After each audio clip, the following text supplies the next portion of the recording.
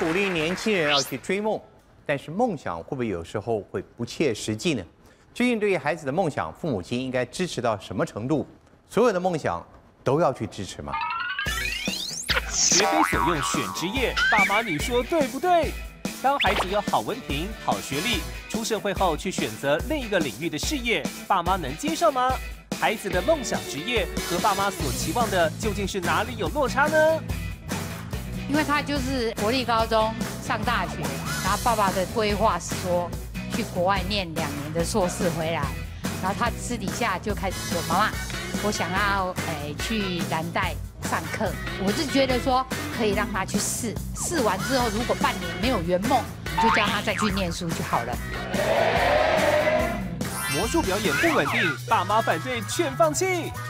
魔术是我自己最大的兴趣，然后我很想要把这个事业做好。我自己本身是念工程嘛，他们觉得当工程师或者是当公务员是一个非常稳定的行业，他们一直很担心说表演这个行业就是你可能三餐不会温饱，在吃饭的时候他们就会突然说，哎，博翰，我觉得你还是去当工程师好了。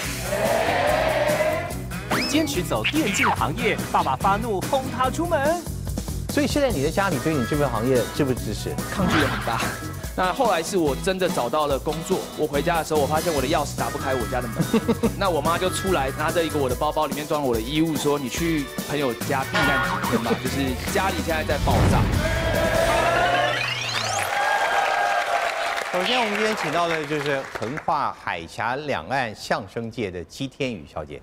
哎，天宇，我不相信你小时候就对相声。有这么高的了解吗？呃，我小时候其实我小学就参加比赛了耶，就知道。对对对，因为从小爷爷奶奶听，所以我也跟着听。那是因为你很多话吗？哎，可以吧？就是应该这样讲，就他们喜欢听啊，我觉得听起来很好玩，很好笑，你可以带欢乐给大家。所以我小时候就跟着一直听，一直听，然后就觉得跟同学两个人说，哎，那我们就把一个段子背下来，然后就去比赛了。那爸妈那时候对你的表现，他们是什么样态度？就觉得我是个怪胎吧。真的。对，因为他觉得一个小朋友你怎么会去接触相声这种感觉是比较传统或是老人家接触的东西。咱们看着其实有时候觉得也很可爱。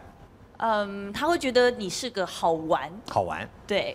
没有人觉得这个是要你要未来走的人生道路吧？绝对不会。绝对不会。对对对。那什么时候开始这个这个你所谓的梦想开始跟他们的现实考虑开始冲突了呢？嗯，其实我从小就有一点点的冲突，因为我小时候就是一个很爱，好了，我爱现，我是一个很爱现、很爱表演的人，所以学音乐啊，学这种呃上台的这种东西都好。可是到了越大的时候，我父母亲就开始会有挡的情况。怎么开始挡？呃，比方说我妈那时候就是到了大学开始，她就跟我说有两种，就是两个圈子不能碰，一政治圈，二演艺圈。结果我两个都碰了，所以我妈那时候就开始发现。呃，我到大学开始一直去玩外面的社团啊什么，他就问我说：“你到底想干嘛呀？呃，你你尽量不要去碰演艺圈哦，不要碰政治圈哦。”结果就开始去玩这些东西，然后到最后他就是，你不会想要去做这个艺人吧？我想啊，然后填志愿的时候，我就给他填戏剧系啊什么的。明明我记得我分数都够，可是出来的时候，哎，为什么我都没有进去，然后反而进了一个行政管理学系，就很闷。嗯，那那时候的家里事实上。觉得你还是在不切实际，是不是？他们觉得应该这样讲，他们是觉得走这条路，他会觉得吃不饱穿不暖，然后而且是不稳定性的工作。那为什么这句话不能够跟对你带来任何影响呢？那些现实的压力、人生的现实故事，难道你都没有都没有去想过吗？有时候兴趣，其实我觉得有时候是。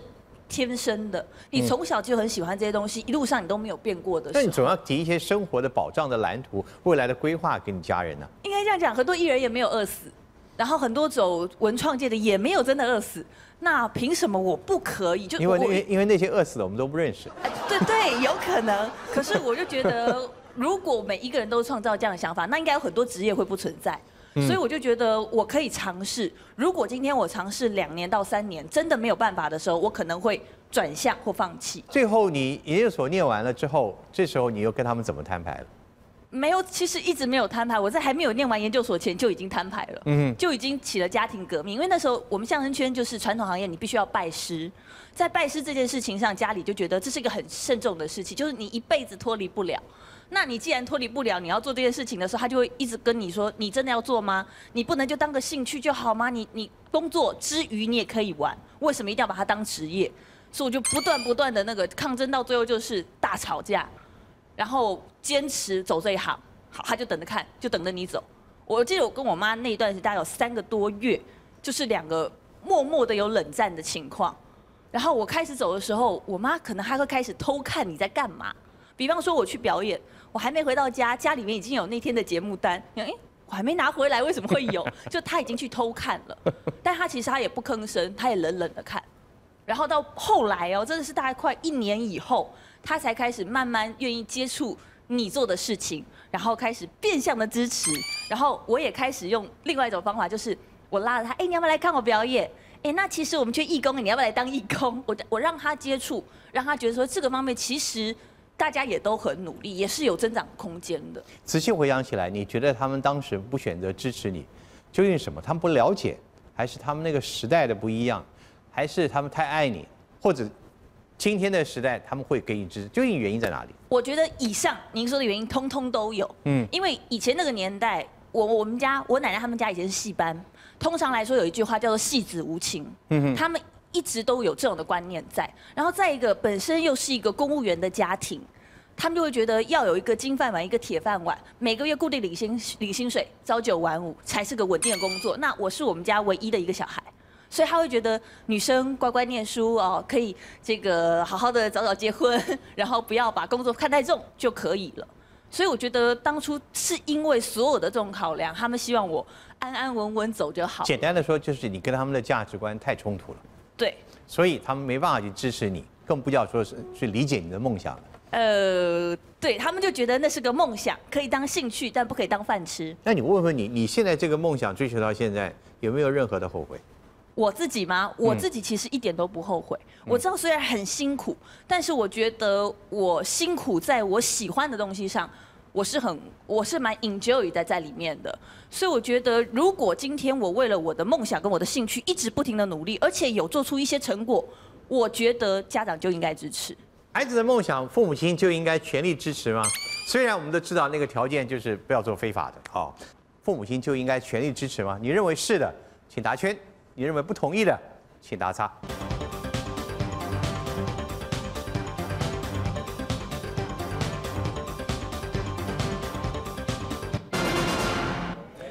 成都是赞成，说来容易，能不能做到，我非常怀疑啊。旁边的蓝妈妈，如果是你投票的话，你也是支持吗？我本身是支持的，好，你的女儿在你旁边，对，女儿从小的梦想是什么？你告诉我吗？你知道吗？她喜欢做糕点、煮菜。你怎么发现的？怎么发现？是小学四年级的时候，学校有园游会，嗯，然后她就吵着跟我讲：“妈妈，你去买一个那个烤箱。”我说：“我们家干嘛要买一个烤箱？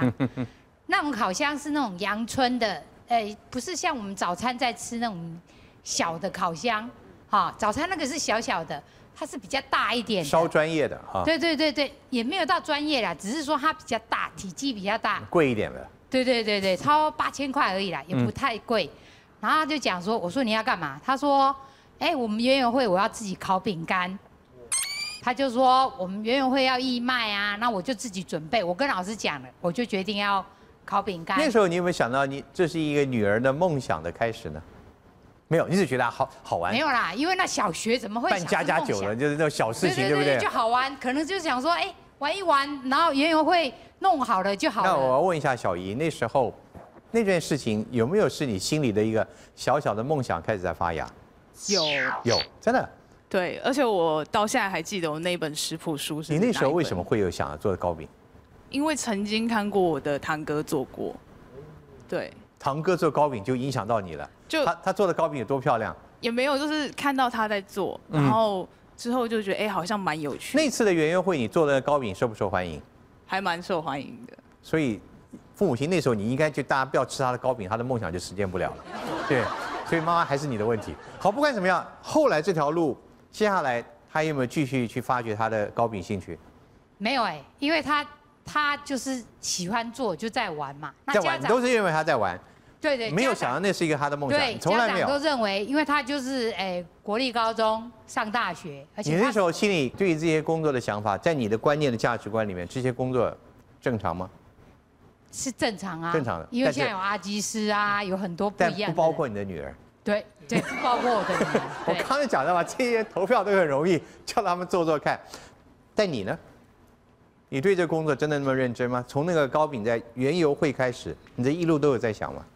嗯，有哎，我其实呃那时候也是真的，小时候也没有那么懂。对，那国中又卖了泡芙，对，园游会开始卖泡芙。你为什么？你就发觉你为什么对这吃的那么感兴趣？就就很执着，很爱吃。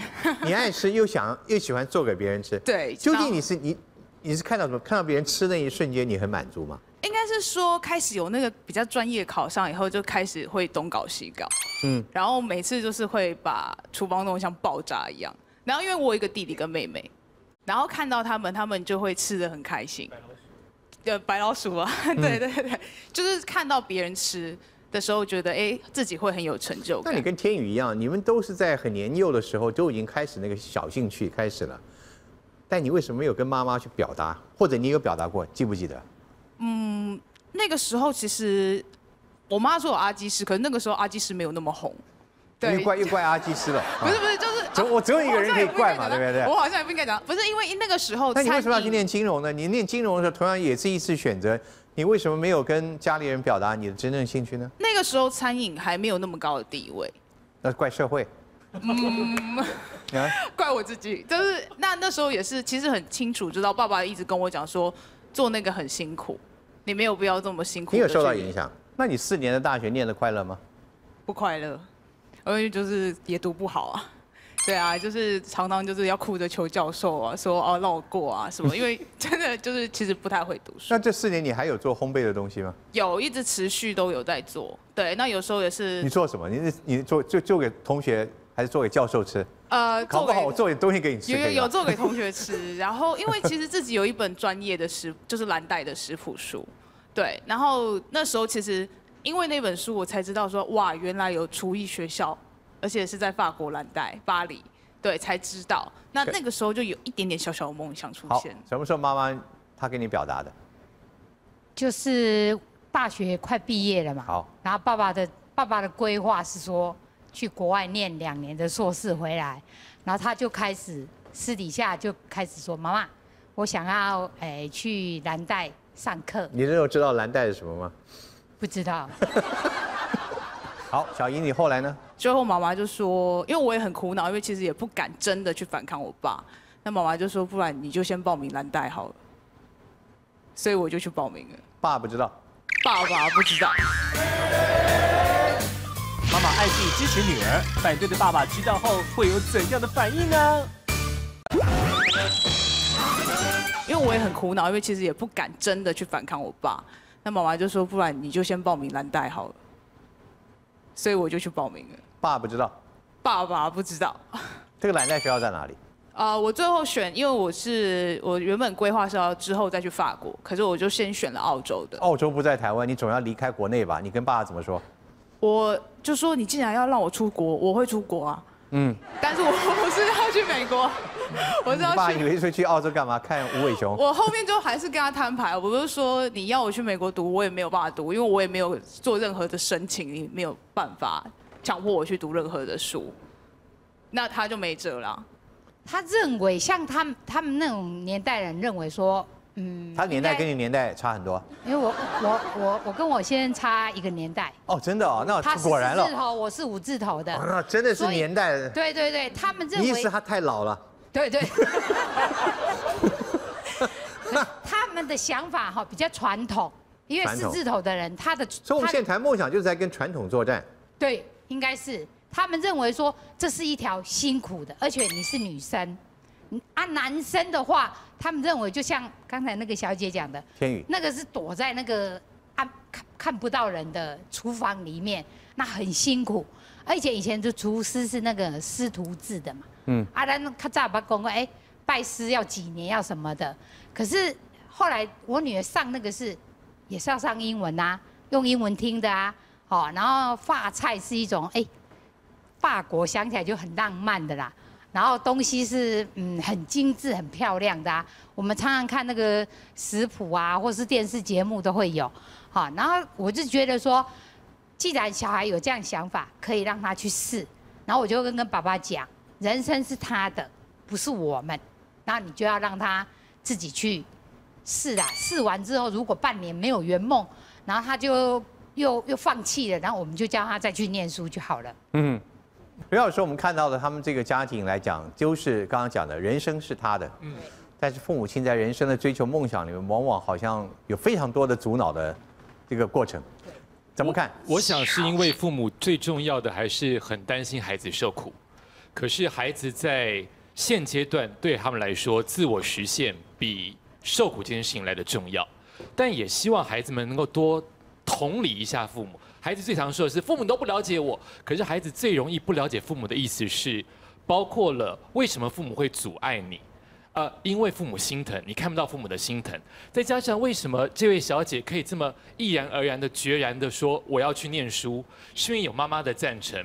后面有一个很不好意思，我得点名的一个东西叫做金源，也就是这个家庭再怎么不支持你。他们终究是拿钱给你出去圆梦的那一部分，这个部分你一定要感恩，而且不要忘记。那我觉得爸爸刚才一直会反对的，其中不全然是对于时代的反抗，或者对于梦想的不了解，而是他们在那个时代当中保护子女的方式，首先都是先说 no。很难得有先先那个开明的爸爸会对于自己孩子的所有事情都说你讲的很对很棒，他们会以先说 no 来看你到底有什么具体的作为。让他们做安全感跟安心。如果说 no，你不停的说我就是 yes，爸爸更没有安全感。你一定要有具体的作为或具体的热情。所以刚才那个端哥有问一题，就是说父母是不是要全然的单纯支持孩子的梦想？我不这么觉得。父母最要看的事情是孩子有没有拿出计划，告诉他们说，请你放心，我会照着计划去努力燃烧我的梦想。小一那时候，你后来有努力的跟他们说明吗？有拿出你的？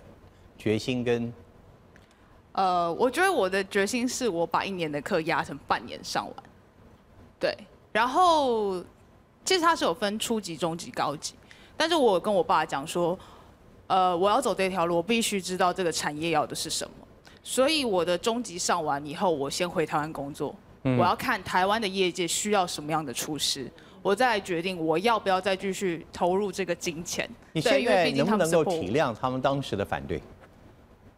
呃，不见得原谅了，但你能不能体谅他们当时的反对？因为我爸昨天讲一句话，我觉得好感动。他说，其实他会反对有一部分是为了我的身体，对，因为其实我们的身体不好，因为我奶奶有肺腺炎，他不希望我吸这么多油烟。对，终于他说出来了。对啊，我就想说，哦，过了这么久，你当初早点讲。啊，他说早点讲，也许那句话就。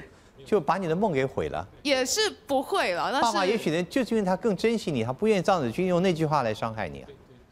或许是对。那我要再问一下，爸爸当初是不是应该支持你的梦想呢？也许今天我们看到是一位金融奇才，也许看到是在别的领域的发展如何，支持你，难道是一定要这样子做吗？更不要说对你的健康是带来一个威胁的事业了。嗯，可是。这还是我喜欢做的事情。天宇父母亲要全力完全没有这样支持吗？我们刚刚小英讲出了，可能他的健康在某种情况呢，他是比较比较容易受害的。难道这些都不能够作为反对他的理由吗？父母亲就要支持你们吗？应该这样讲，反对这这可以成为一个反对的理由。但是我觉得他的健康还有一个部分很大的，就是起因来自于这个人到底快不快乐。如果今天 逼着我做一个不快乐的事情，他也可能导致健康不好，这是实话。所以我觉得父母当然可以拿健康作为理由，这个我完全认同。因为我妈也很担心我们的健康。可是当他觉得你真的有在里面引就有享受到这个快乐，他看到你每天是很快乐的时候，其实他也快乐。蓝，妈妈，快乐重要还是饭碗重要？快乐重要。哎呦，真的？真的，因为所以爸爸现在看法也改了吗？爸爸有啊，有改啊，因为他现在有有一些成绩出来了，或是他的作品出来。那还是有饭碗看到了，所以你们才快乐啊。哦，对了，有是有啦。当不过我依我的想法，我是认为我我当妈妈，我都是认为小孩只要快乐就好了。因为我我上面还有两个啊，啊，然后我觉得老大都这么不管他们追求那个事业，在你眼中看起来是多么没有保障，你都支持。对我是支持的。我们现在有这边四个同学的例子在这边，他们先讲一下他们现在做什么，好不好？好。然后你告诉我你最支持哪一个，好不好？来，第一位我们是他原来学地质的啊，现在做导演，对不对？对，哪一类的导演？呃，广告跟 MV 的导演。广告导演。第二位是学生物工程的，但他现在做魔术，all right。第三位的小菊呢，原来是学经济的，但现在做珠宝设计，对吧？第四位的我们的呃财务原来是记得，就叫记得，那名字真有意思。他现在做的行业非常的新鲜，他是叫做电竞主播，也就是这个电竞比赛那些做的转播或者怎么样的主播。这是一个崭新的行业，至少在我的年代我真的没听过啊。但是现在是很夯的。这四个行业妈妈记得吗？记得。好，哪一个行业你最不支持？最不支持。就是这四个都是你孩子。有人跟他讲，妈妈，我要我的梦想就要做这个。你先不要他们念什么，他们刚刚讲过他们要做的梦想了。你最不支持哪一个？在你应该是那个电竞主播。为什么？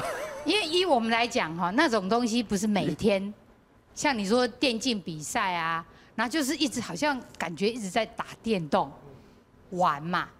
那现在的人对那个电动，上班一天休休业好几天。对啊，而且打电动好像嗯，有一些人是你也不知道要转播什么，是吧？沉迷不是电动是打了就会沉迷的。沉迷，给我们一个更强的理由，你去反对他的梦想是什么？哦，就是不稳定。不稳定，来吧，记得从你开始。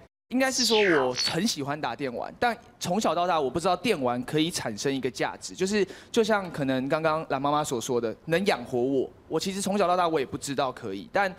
到到这几年，我才发现真的好像可以在。这我给你要这点你要非常重要解释给蓝妈妈听。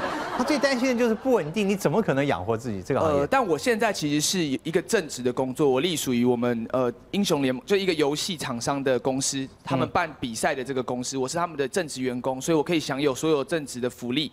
我的月薪其实也比一般的社会新鲜人还来得好，蛮多的。所以现在你的家里对你这份行业支不支持？对你做这个事业？现在是越来越。越支持啊，所以他们中间也抗拒过，呃，抗拒的很大。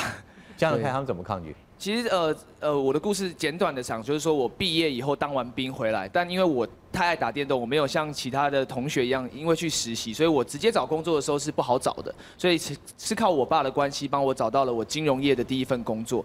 那时候我做了两个月以后，台湾在一个 就在我们的游戏项目上拿到世界冠军，然后那时候新闻报的很大，然后就在电竞圈好像就是一个我们要往美丽的新世界航向的那种感觉，所以那时候我就。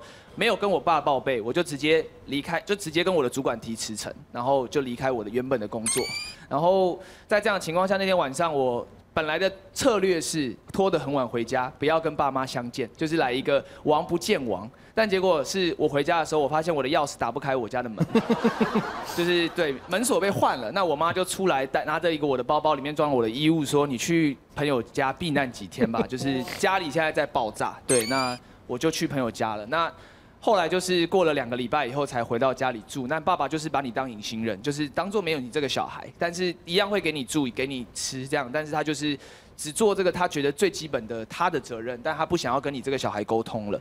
那后来是我真的找到了工作，从一个队伍的教练慢慢做到主播，现在拿到了正职的工作，他们越来越去，至少我养活自己了，就是我觉得在。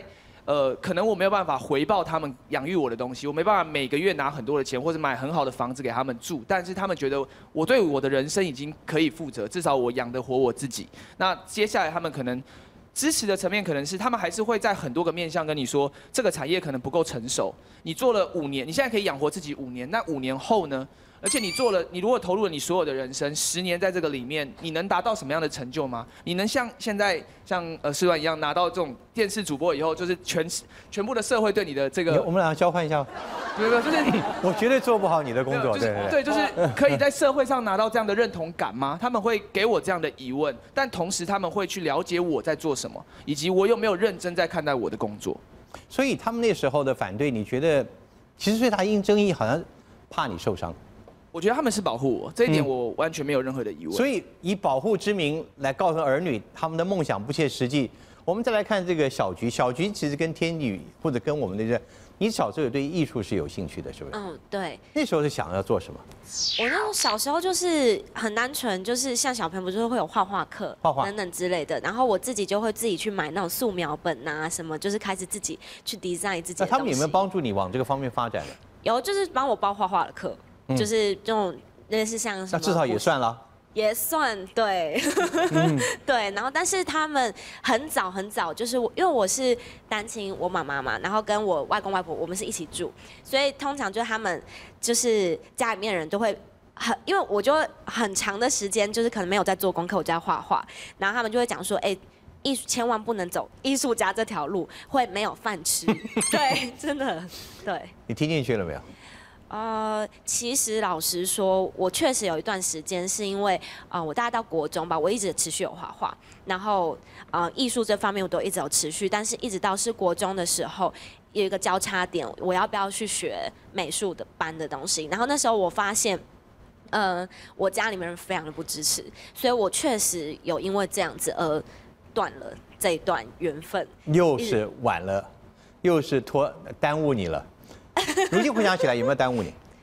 其实不会，不会。对。那你在大学念的这个经济，究竟对你现在走的这个珠宝或者是一个饰品设计有什么帮助吗？其实有哎、因为像经济，好吧，虽然是比较理论的东西，但是我们还是会学什么供需法则啊，然后可能比如说你要做就是要买珠宝的时候跟人家解释供需法则。没有啦，不是，就是说至少我在做生意，因为我是老板，哦所以至于在生意上面，我不能只是就是我不呃，除了做艺术之外，我还要能吃得饱。你怎么能够做到老板的？怎么做老板？就是我是从摆摊开始的，你自己摆摊。我自己从摆摊在夜市，你一个大学生去摆摊，对对你家里的冲击也很大吧？哦，严重了。他们怎么反应？，我记得一开始的时候，我就有稍稍小小稍微提一下，然后那时候看一下家里的反应，就那时候是就是家里面就是一开始他们想说我只是可能可能只是好玩，他说这是办家家酒，你不能，你就是要去找，因为经济嘛。不外乎就是银行，不外乎就是公公务员。然后他就说不要，就是反正很严肃的跟我讲不要。然后记得后来呢，我结果我耳根很硬，所以就是也没听进去。之后我那时候是刚好因为。呃，我有一段时间的工作，因为就反正结束了，所以我那时候开始思考说，哎、我那时候正在大学期间，我想说啊，那我现在要思考我接下来要怎么做我的我我的人生。然后那时候我记得我的口袋真的只剩就只有一万块，然后那时候我就想说啊，不然跟妈妈提一下，看看可不可以调度一点点钱。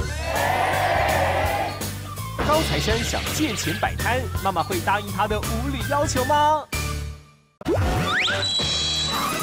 那时候正在大学期间，我想说啊，那我现在要思考我接下来要怎么做我的我我的人生。然后那时候我记得我的口袋真的只剩就只有一万块，然后那时候我就想说啊，不然跟妈妈提一下，看看可不可以调度一点点钱。对，然后那时候我记得很印象深刻，那一天就第一次我想说好吧，要提应该应该还好吧。我想说摆摊也就是一个像是一个人生的体验。然后那时候是我记得在火锅店，然后我外婆也在，我妈也在，妹妹也在。然后那时候我就说，哎、我想要摆摊，然后就是他说，就我就说我想要在夜市，然后就是卖卖小饰品啊什么的。然后后来我妈就突然就是那种就是颤抖，就是很生气，然后而且我们在餐厅哦，大众就是大庭广众之下，然后她就气到就是她真的就是摔碗筷，然后就说就是不准，火锅不好，对吧？没有，就是觉得，那但是我就想说，有这么夸张？应该我想说还好吧。然后他就说你不准我今天供你到大学，对他觉得他这么辛苦，结果换来你要做这个，对，然后他就说他觉得摆就是摆摊是一个就是很像不是你不是在摊贩嘛。他觉得在他眼中大概对，然后他就觉得你你这样真的很丢脸，对。然后我记得那时候延延续了很好一阵子，就是我记得我一开始的时候，我后来还是还是去摆了。小菊，你现在不会再继续摆摊了吧？哈，你现在还在摆摊吗？没有，我现在是店面。店面对，妈妈支不支持你了？现在有，就是我觉得应该是说他也一样，就是他们不会讲很明显说哦这样太棒了，但是就是你感觉得到他就是呃有转变，就是会觉得说啊，原来其实他知道，就是我有从他的同事耳中你们两位都是在经过自己的人生，在另外一段学习的过程之后，然后才找到你真正的兴趣。同样的，我要问一下，你觉得你们自再更早一点，不应该更勇敢一点去追寻你的梦吗？真的要等待那段拖延的四五年的大学？我觉得这点很有趣。其实我有想过这件事情，嗯可是其实对我来讲，如果谈我先讲我的话，我其实对我人生是不管做任何决定，我都不会后悔，就是因为都是有原因的。因为当下的你就是会做这个决定。对接。下来博汉我也问的就是，魔术能当饭吃吗？一定还有些我知道很多的魔术表演现在非常的夯，但是我相信也有很多父母亲会提出这个疑问：魔术能当饭吃吗？你告诉我。对，刚刚已经听到了两三两三次说兴趣不能当饭吃嘛。那呃，我的父母其实也一直在跟我说这句话。他说魔术当兴趣很好很棒，是一个很好的兴趣，但是呢，绝对不能当饭吃。除非你把钞票变出来。对之类的啊，就是他们，我觉得呃，我的父母就是他们一直很担心说，第一个就是表演这个行业，就是你可能三餐不会温饱，然后呢，你的呃你的工作时间呢可能是晚上或者早上，然后很不固定，然后你可能就是一下子有饭吃，一下子没饭吃，然后对他们来说，这是一个很不稳定的行业。然后我自己本身是念就是工程嘛，那相对来说，对父母来说，他们觉得当工程师或者是当公务员是一个非常稳定的行业。对，我想任何人都这样想。对啊，对啊，对啊。然后，但是呃，我其实也很同意这一点。但是呃，我自己在大学的时候，我也学了很多东西，然后我就一直去摸索。然后比如说，我大一的时候加了很多社团，学了很多东西，可能加了热舞社啊，然后办了很多活动。然后我那时候就是开始想说，我要怎么样呃去找到我的兴趣，然后我未来想要做什么。然后我大三的时候就加了一个学校的学程，叫做创意创业学程。然后我们就在学校学了很多的，呃，跟很多的夜市啊，或者是跟很多不同科系的人一起就是合作，然后继续去寻找自己的兴趣。然后后来我就去又去学了呃商管的课，然后又去修了戏剧系的课，然后最后我觉得就是魔术是我自己最大的兴趣，然后我很想要把这个事业做好。然后呃，其实在国外魔术是一个还蛮。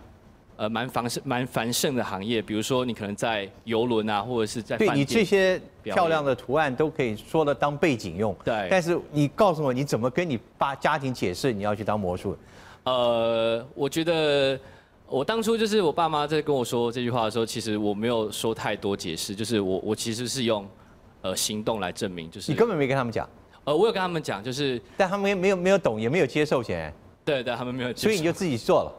对我就你做的第一步是什么？呃，我就开始就是自己就是出来创业嘛，然后就是去自己主动去联络公关公司啊，或是去表演的机会做表演，对，很多表演的机会，你就直接走上表演这条路了。对那每天回家你还是要面对他们，他们怎么反应？他们就会，就比如说我今天在家里，他们就会在吃饭的时候，他们就会突然说：“哎，博翰，我觉得你还是去当工程师好了。”他说：“你看嘛，你看这样子不能当饭吃啊，那什么什么丑闻会很麻烦呐、然后或者说：“哎，黄博安，你今天怎么又在家里？怎么今天没有 case 吗？”对对，然后就会觉很怀疑说，为什么我每天都待在家里，不知道干什么？那你心里怎么想？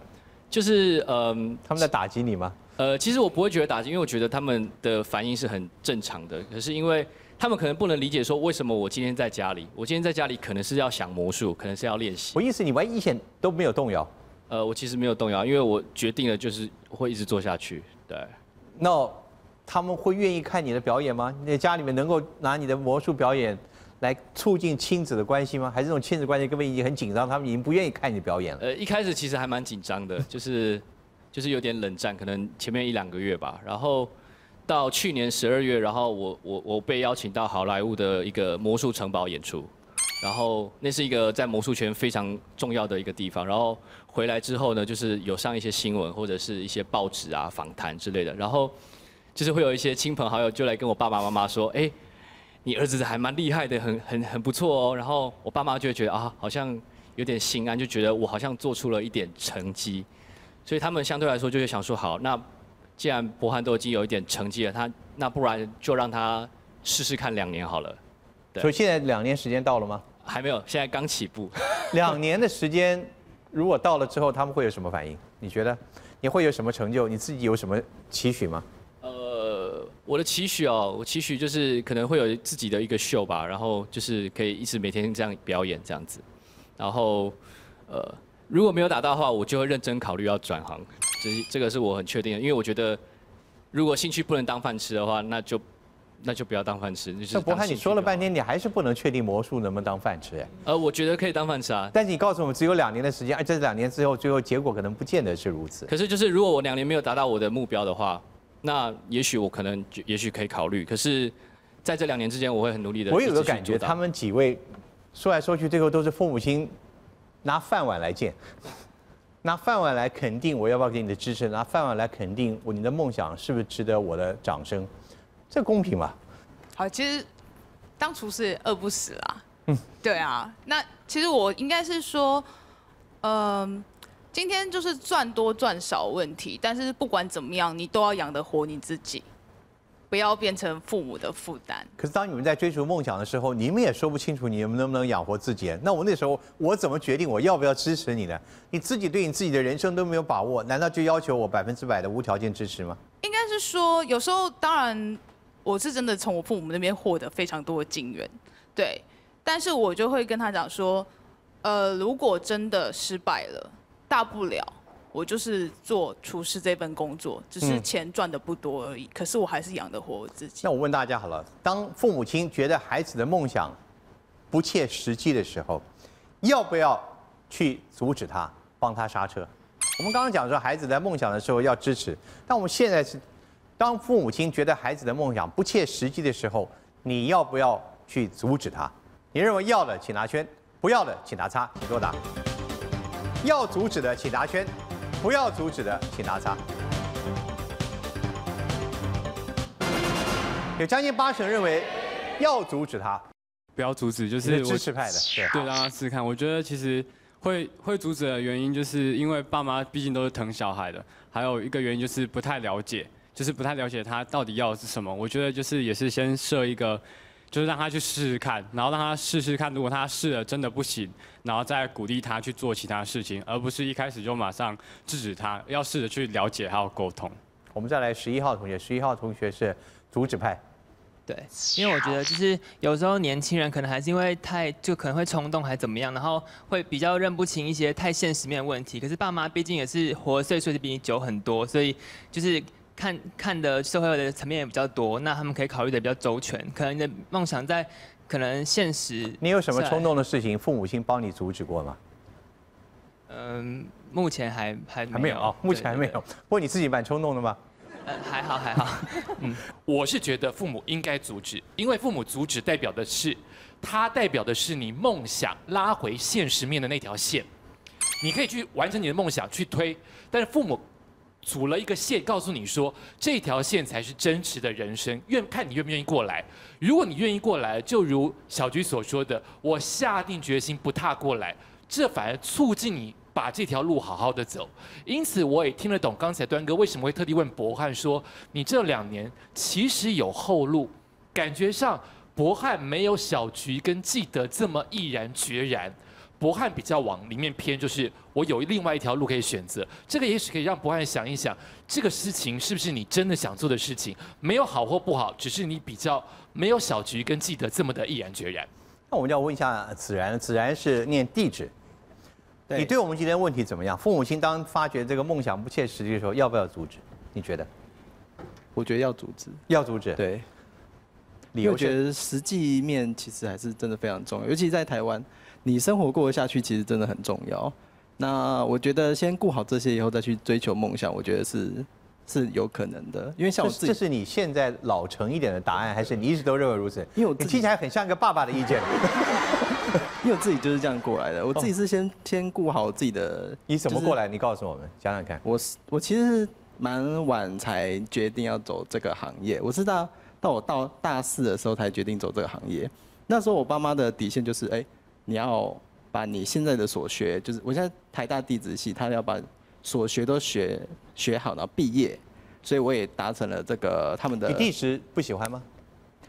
呃，我只能说就是稍微喜欢，但是我更喜欢现在的这个职业这样子。你的导演是怎么样开始？你怎么会想去做这些？从从哪里开始其实？从大大一的时候就一直在接触很多不一样的机会，就像什么经济啊，文学啊、音乐啊这样子。然后到了大四我才接触到影像这一块，然后接触以后就非常的喜欢，而且我跟那时候刚好有个机会，就是跟很多志同道合的好朋友去拍了一个很就是蛮有回响的一个校园歌舞剧这样子，然后就觉得这个行还不错。你在里面扮演什么角色？那个我在里面歌舞剧？刚开始我只是在当摄影跟灯光，然后因为后来的回响不错，所以有一些案子上门，然后我就可以那如果我是你的家人，对不起，我呃冒犯一下啊、如果我是你的长辈，那我有百分之一万个理由阻止你不能走这个。第一个，你学的是地址，你专业了，而且你已经大四了，年龄也差不多了，而且你刚刚在那个剧里面，你也不是真正的灵魂的主创者，你为什么要去走这个？所以那时候我还没有下定决心跟他们谈，那时候我只是先以一个目标去。所以你有没有去做地址方面的工作？那时候我是先把课业全部都念好，对，然后边念的时候也就边准备这些影像啊方面的。那时候我就，所以那时候我得了那台北电影院呃，所以你不是一个冲动的人。嗯，不是，我是考量蛮多的。哎，这个很厉害啊、他的思虑很完整。梦想之外，还有很多成熟的考虑。你是要那种飞行计划才能才会起飞的人，对不对？嗯。不会贸然看个加了加了油就飞了。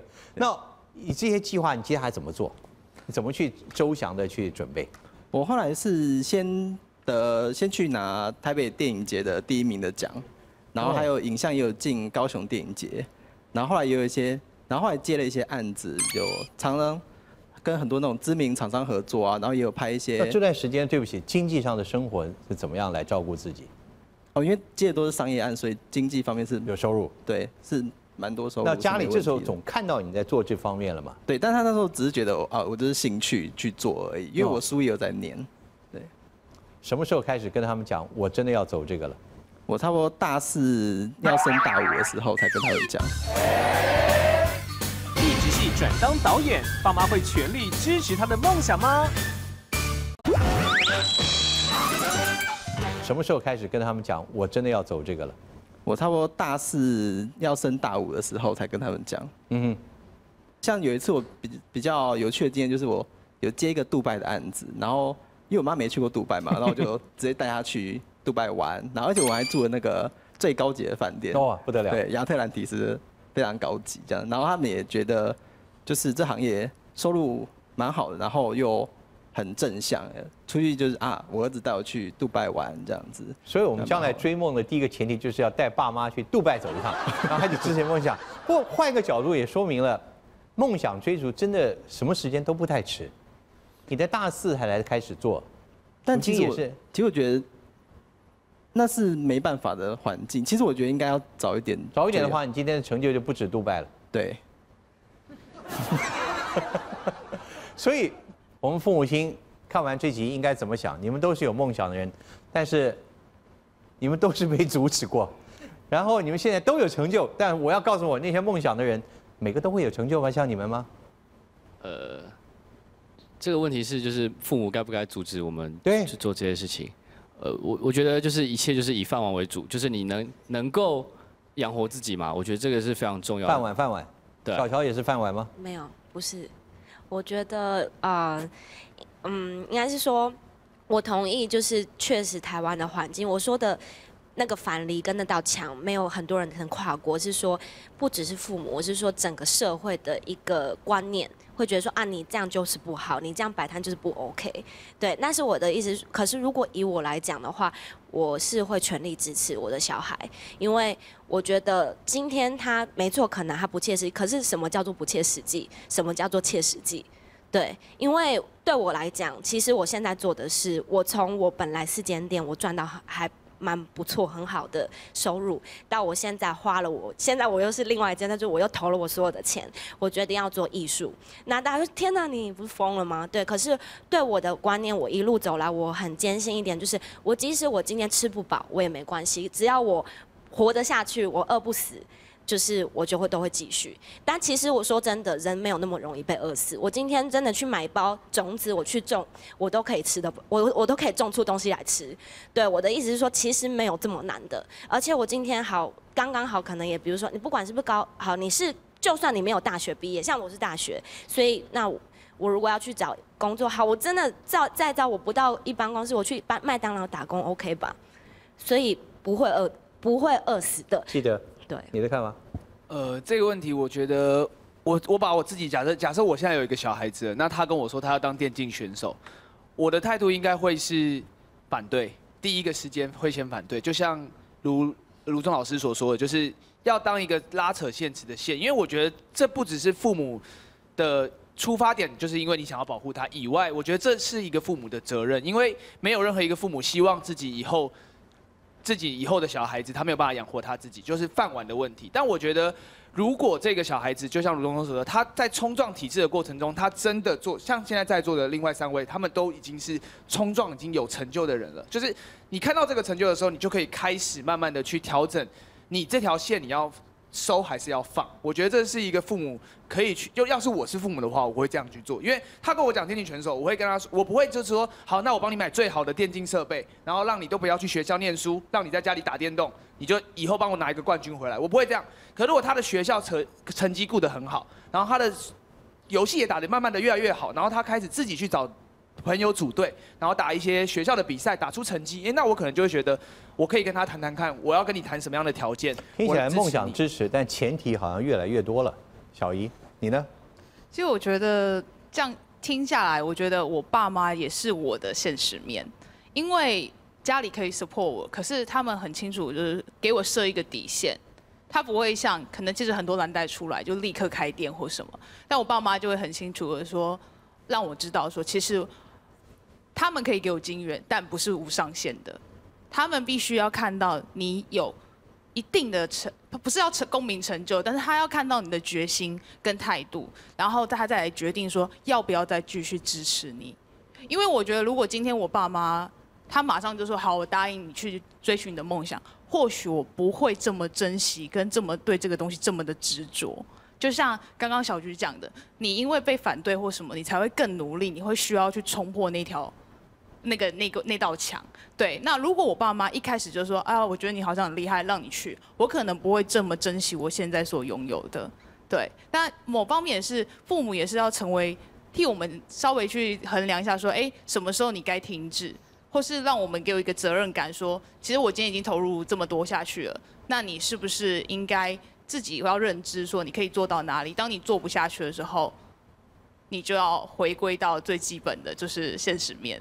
英语，我我我个人在看这件事，梦想分成梦跟想。如果今天这个小孩，我自己的小孩就是他，如果纯粹在想，他永远不会成功，我一定会去帮他拉。但是如果他不在于这个想，而他有去实践，就是有一边的小孩说，哎，我很想当什么当什么，但他永远找的都是那种钱多事少、离家近的工作，那我肯定不支持他。就是他只是在想的阶段，但他今天不断的努力付出，他愿意从很刻苦的把他起来，我觉得我会愿意完全的 support 他所有的资源，让他去完成他想做的事情，然后直到可能不见得是有真的多少的功成名就，但是我觉得就是他这个过程，这个过程里面他能够 enjoy，然后能够实现他觉得他达到他的梦想，我觉得就够。